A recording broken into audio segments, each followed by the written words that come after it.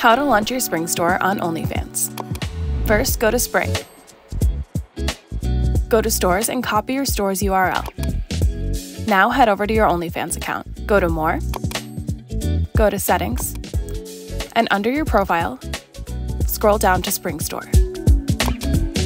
Paste your Spring Store's URL and click Connect. Go to your profile and see your store in action. Música